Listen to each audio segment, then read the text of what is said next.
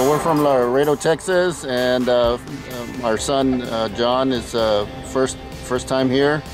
Um, everything's been wonderful so far. Everybody we've met, everybody that we've communicated with has just been wonderful, and uh, just the the marine environment, uh, the structure, uh, it's going to do wonders for for our son.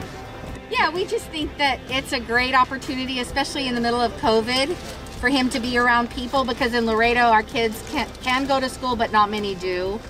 And so it's just a great opportunity. He also has always wanted to be in the military. That's been his uh, thought process. So this is a way for him to get to decide.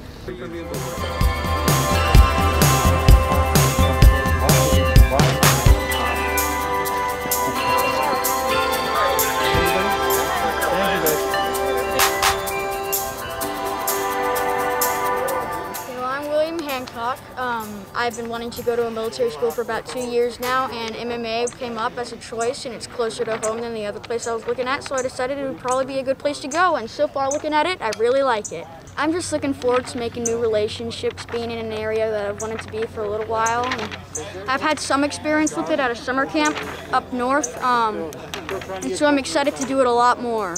So I think doing this and having more teamwork in my life and things like that will really help me out. My name is John Eichhorst. Uh, I came from Laredo looking for uh, better opportunities and improving my grades and my education. Get a haircut? Uh, I don't really, it's not what I like, but I guess it's gonna grow back.